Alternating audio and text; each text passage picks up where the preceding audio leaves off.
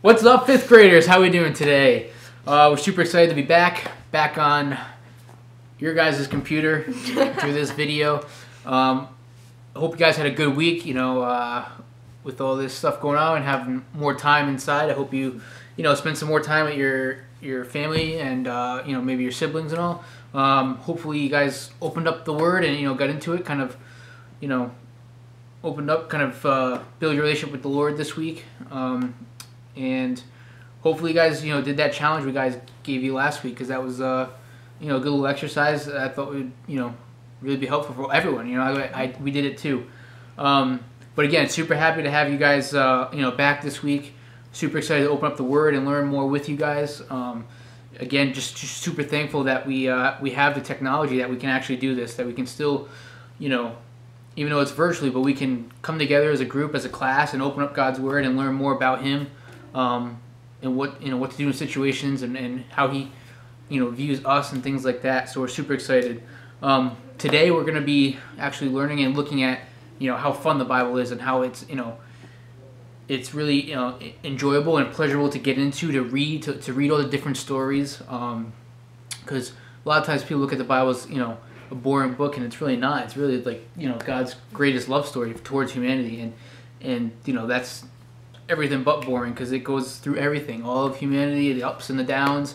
Um, but yeah, so today we're going to go over you know a story that basically just shows that that you know God's word is is a, a fun book and it goes over all these different things and takes turns that you don't expect. Um, but through it all, we see God's love and His mercy um, for us um, as humans, and and uh, what's greater than that, right? So.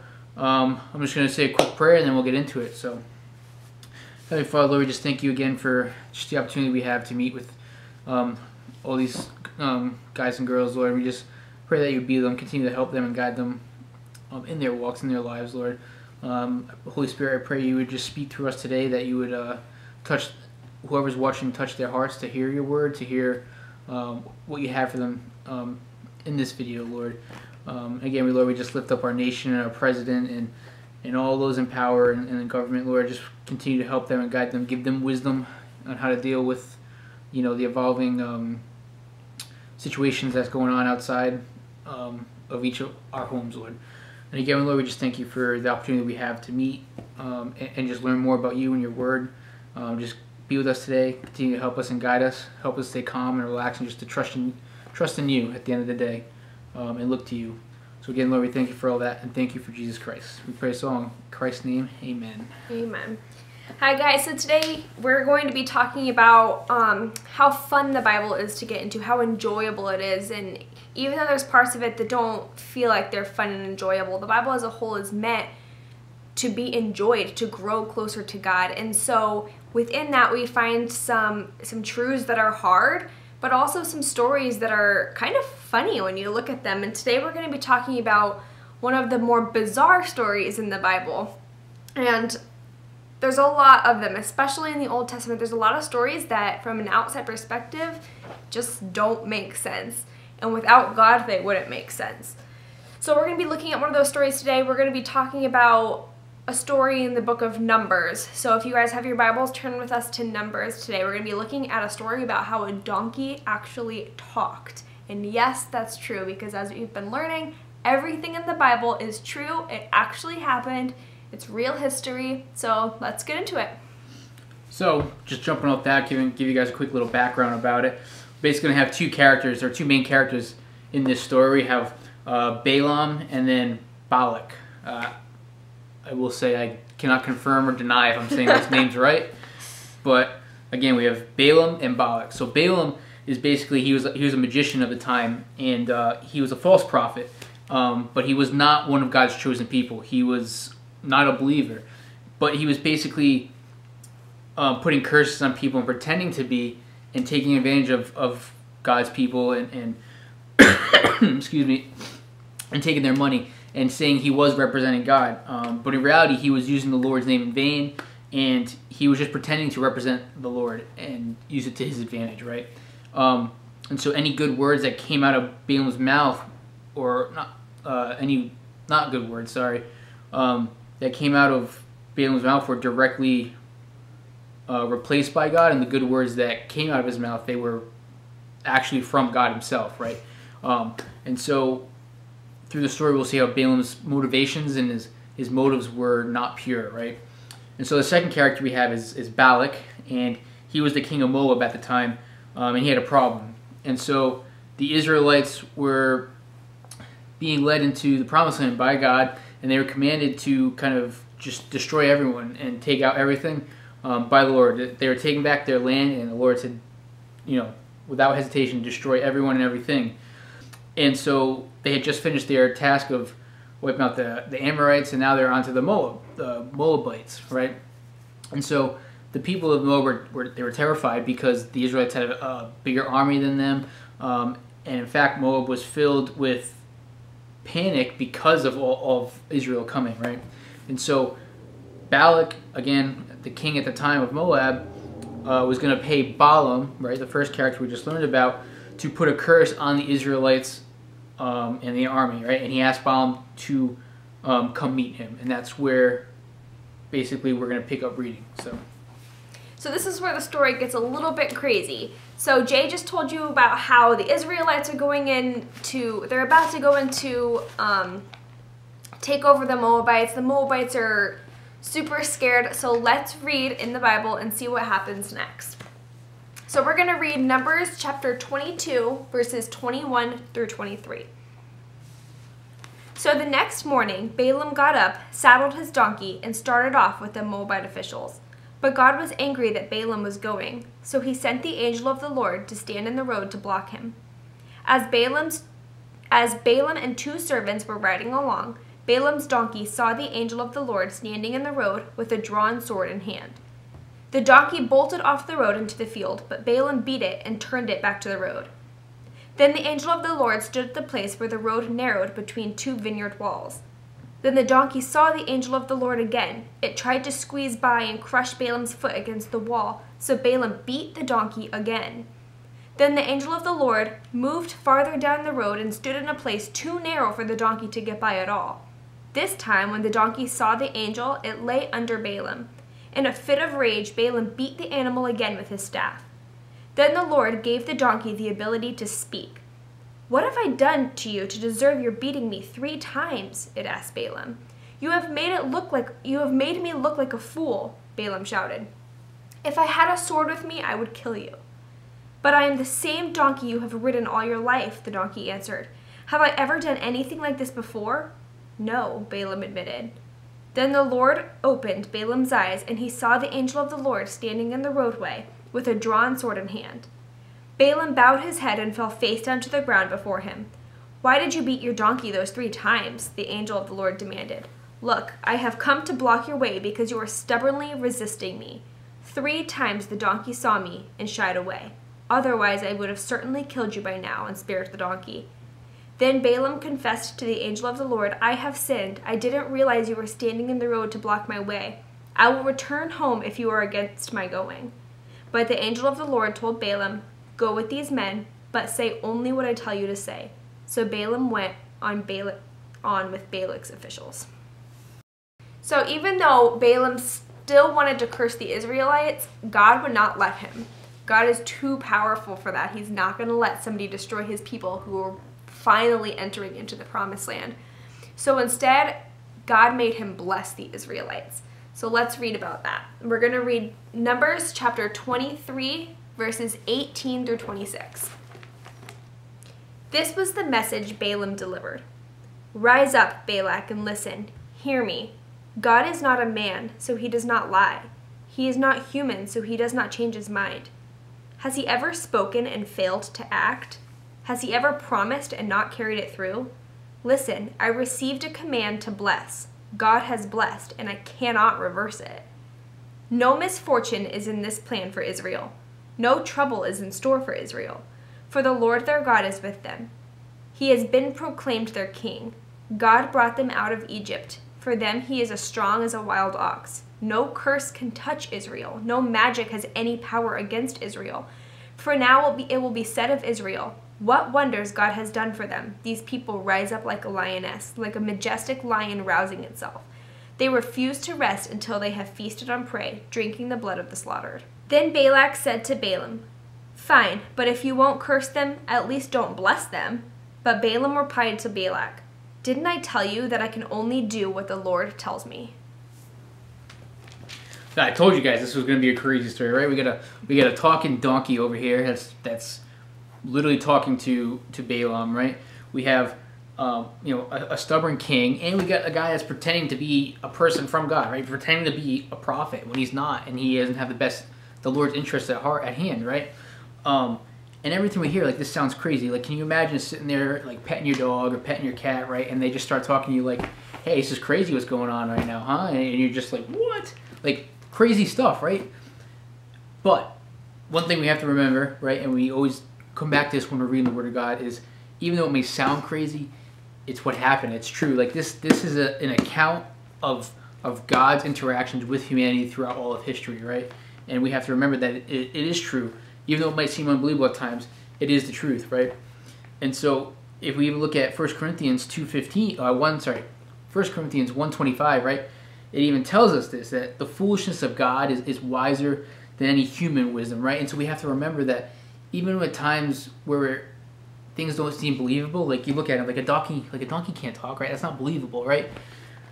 But we have to remember that God's ways are above our ways, right? And His thoughts are above our, our thoughts, right? And so when we look at these things, we have to remember that and realize like God's wisdom is is of a different world, right? It's of of the spiritual realm. It's, it's higher than us. It's not of this world, right? And so we have to remember that, um, and just remember that God's ways are higher than our own, right? So. And like that verse says, like God's foolishness. It doesn't mean that God's actually foolish, but to us, it seems foolish. It, that seems unbelievable, completely ridiculous. But even that, those ridiculous things are so much higher than our than the most wise thing that our brains can comprehend. So that just shows you like how amazing and how powerful God is and how he can use anything, even what we would see what we would say is impossible. But the Bible is filled with crazy stories like this. This is just one of the accounts in the Bible and there's so so many that are just as bizarre and weird almost even. But this is just one of them. This is just one of the stories that can be so fun to study. Like that's a, I think that's a pretty enjoyable story to read. That's something that I'm like, oh my goodness, what's gonna happen next? But that's that's what the Bible is. The Bible is for us to engage with God, see how He interacts, and that's fun. That's enjoyable. And sometimes it might always seem fun, not seem enjoyable. But the closer you get to God, the real the more you realize that your relationship with Him is has its moments of being fun it's always enjoyable even when it doesn't feel like it right right then you can look back and be like that was awesome. My time with god was awesome. And you can get that with any part of the bible. So this is just one of those examples how the bible can be so much fun in in such a way that we don't even realize. Um, that was fun for us us to study and us to look at. Yeah i mean for, for me like i always like this like, the stories of the bible are, are really cool right? And you, you have obviously some crazy stories like like for this one a, a, a donkey's turk uh, a donkey a mm-hmm. donkey's talking right? Or you have the story of no of uh, Jonah and he got e- eaten by a whale like a huge whale like that's crazy right? And there's there's a bunch of these crazy stories right? But at the end of the day we also have to remember those stories are awesome and they're and they're cool and they're and they're different right? Which makes them fun. But the true joy the true joy and the true fun of, of reading God's word is is actually reading it and building that relationship. You know, mm. like even if this story, this donkey didn't talk, right, and we learn how God means what He says, right, and He He desires us to, um, you know, have pure motives and follow after Him and, and try to emulate Him. Yeah. Even if that donkey didn't talk, and I read this, you know, I read this story, and I take that and apply that in my life, and I go out and, you know, apply it to my life like that in and of itself is the fun part because I'm interacting in the real world, following the Lord, and I see how He interacts with me, and that's what that's where the, the true fun comes in, in my opinion, right? Mm-hmm. It, it, you start to engage and, and deal with and, and and see how God's working in your own life with you personally. Not we're not talking about oh, this is how God handles all situations when um, when uh, when a human's mad. It's no, he's he's there for you when you're mad about this specific thing, right? And so, again, like all these stories are wicked fun and they're cool to read, right? And they should be. It should be pleasurable to open up, you know, this word and to see all the things that we as humans struggle with, and to see how the Lord loves us so much, and and, and just a true love story of this whole thing, because it's what it is. It's a love story of of God rescuing His people, and and that's who we are, right? And so it's really fun to see that and to engage in that and, and learn more about that, right? So. And just think, guys, too, when when you have somebody that you're close with, maybe it's like your best friend. The more you get to know them, the more enjoyable your relationship with them is. The more you learn about them, the more things you learn that they can do, or um, the more you talk to them, the more stories you hear about them, the more memories you make with them, the more enjoyable that relationship is. And that's exactly how it is with God. These are His words to us. The Bible is His His word. It's His words that we can read and like a letter to us that we get to read and study from and learn more about him and that's time spent with him and that's what makes it so enjoyable. So yeah there's there's all these crazy stories and they're fun but like jay said like the real the real joy is spending that time with god learning more about him and you can learn so much about him and that makes it fun that makes it enjoyable that makes the relationship stronger so guys just uh, kind of like a, a, quick recap on everything we just kind of read and gone over you know um, number one, we have to remember that the Bible is God's message for everyone, for all people, right? Doesn't matter where you're from, where you grew up, what nationality you are, if you're a boy or a girl, what, it doesn't matter who you are. God's word, the Bible, is for all people, no matter what, right? That brings us to number two, that God's Bible and the Word is a message about Himself, right? It's about God. Like I said earlier, like it is, it is the love story between God and his chosen people. The love story between the creator and his creation, right? And it's all about him and how he pours himself out to us to enable us to have that relationship with him and how he he goes down into our mess and saves us and how he um, does it all, right? Because that's that's who God is. That's what He's done, and and it's what He continues to do for us, right? And then number three, the Bible is fun to read, right? It, it it's it's enjoyable and God wants us to learn about Him. He wants us to crave it, right? And you know, we have to realize that, like, like like we said earlier, like diving into into the Word and learning about one all the cool stories that are in there that happened, right, is fun and enjoyable. But also learning about God Himself and how He interacts with humans in general, but also how He interacts with you and yourself on a, on a personal level, right? That's where the fun comes in. That's mm-hmm. where all the joy and excitement comes in, and how you see how God acts through your day to day life and when you're struggling with things and all that. That's where the true joy comes out of your relationship with, with Him. You can't you can't engage with God without reading His Word. You can't have a growing relationship if you're not if you're only talking and not listening. And the Bible is how we listen to what God has to say. It's we're reading His words to us. So if we're only praying to Him and we're only talking to Him and only going to Him when we feel like we need Him, because we always need Him, right? But when we feel like we really like are like stuck in a bad situation, if that's the only time we're really talking to God, we're not growing and having a growing relationship with Him because we're not listening to what He has to say. And the enjoyable part of the relationship, the most enjoyable part for me, and I, I'm sure you would say this too, and lots of others who have a relationship with God, is the most enjoyable part is hearing what He has to say to us. So I just hope you guys like realize that throughout this week. Yeah.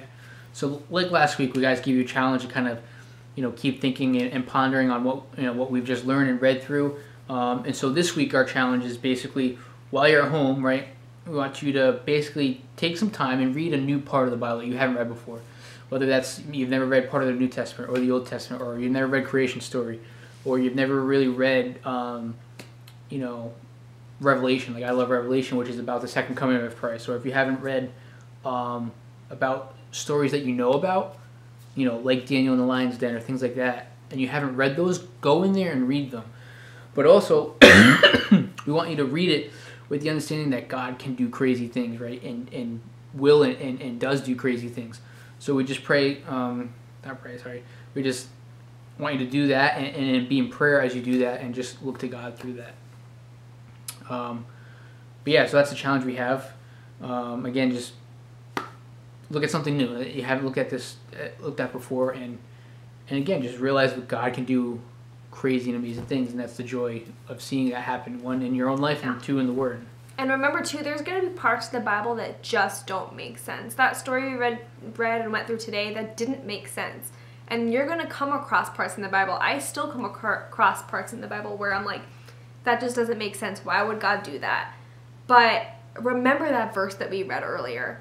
Even the things that we don't understand, the things that seem foolish, the foolishness of God, the things that seem foolish that He does to us, it's better crazier, wilder, and more loving than the wisest thing that we can imagine in our own human minds. It's so far beyond us that even though it doesn't make sense to us right now, it makes sense. We just don't understand it. God is so far beyond our finite minds for us to comprehend it right now, but someday it'll, it will make sense. It does make sense already. It makes sense in God. God knows what he's doing and he does everything he does out of his love for his people. If you're his child, he loves you. And the things that don't make sense, don't overthink it. But know that his ways are higher than our ways. And that's that's what we have to kind of settle on when we come to those areas that just don't make sense to us. Yeah, well said. So I want to quickly pray. Uh, Heavenly Father, we just thank you again for this time. Thank you that we have the ability to, um, you know, get together with the fifth grader, get together with the class, and, and just talk this over, open up your word, learn more about you, learn how you interact with people, how you, you know, how you think and your ways, Lord. We're thankful for that, Lord. I just lift up all those that are watching, Lord. I pray that you continue to be with them through this week. Um, help them to stay calm and relaxed, to look to you, to, to learn more about you, and to uh, just strive after you in their their day to day lives, Lord. That they would look to you and, and, build that relationship with you, Lord. Um, I pray that you be with everyone, keep us all safe and healthy um, and protected from you know all the craziness going on, and uh, and just pray that you know we praise you. We thank you for who you are and everything that you've done for us, and especially for for sending your son Jesus to to die on the cross for us to take our, our penalty and make it possible to even have a relationship with you, Lord. So we're eternally grateful for that. Um, and again, thankful for all that you continue to do for us, Lord. We pray so in Jesus Christ's name. Amen. All right, bye, guys. We can't wait to see you guys and hear about all the things that you're learning about God's Word. Till next time, guys.